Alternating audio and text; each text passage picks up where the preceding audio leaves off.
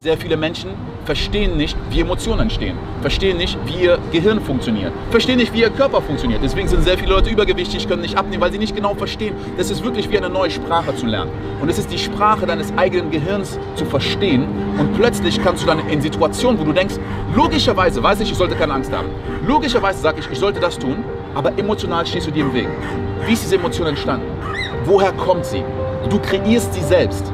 Aber solange du dich als Opfer siehst von etwas und deine Identität ist, ich bin einfach schüchtern oder ich bin nicht der Strukturierte oder ich bin nicht so, ah, das ist schwierig für mich und du das schon sagst, dann wirst du immer wieder Bestätigungen dafür finden. Deswegen ist es so wichtig, als allererstes diese ganzen Bewertungen erstmal wegzunehmen und ganz neu und ganz frisch auf Situationen zu gucken und sich bewusst zu werden, wenn diese Momente kommen, wo wir unsere Glaubenssätze einfach auf etwas projizieren und, und glauben, das ist die Realität. Die Realität gibt es nicht.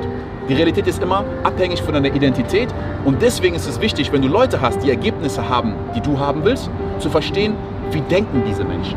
Wie gucken diese Menschen auf diese Situation? Nicht nur, was tun sie, dieser Mensch, der sich traut, eine Person anzusprechen, manchmal, er hat nicht diese Angst, die er überwindet. Er sieht die Situation ganz anders als du. Und deswegen handelt er anders. Und du denkst, er überwindet sich, weil du gar nicht verstehst, wie die innere Welt funktioniert. Und plötzlich, wenn man aus einem anderen Winkel, ist oft, wenn man zum Beispiel mit jemandem redet und jemand sagt, sieh das doch immer mal von der Seite. Plötzlich änderst du den Blickwinkel und merkst so, so habe ich das noch nie gesehen. Und, und wir nutzen oft diese Worte, aber das sagt sehr viel. So habe ich das noch nie gesehen. Das heißt, wie ich es sehe, basiert auf meinem Blickwinkel. Manchmal kann ich aus dieser Perspektive, hier ist dein Bein, ich sehe gar nicht das, was dahinter ist. Aber wenn ich so mache, ah, jetzt kann ich das sehen. Das war schon immer da. Nichts hat sich verändert.